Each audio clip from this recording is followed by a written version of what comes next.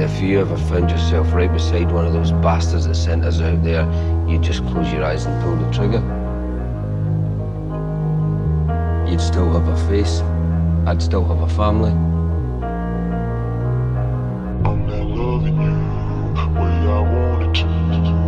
I had to run from you. I'm in love with you, but the vibe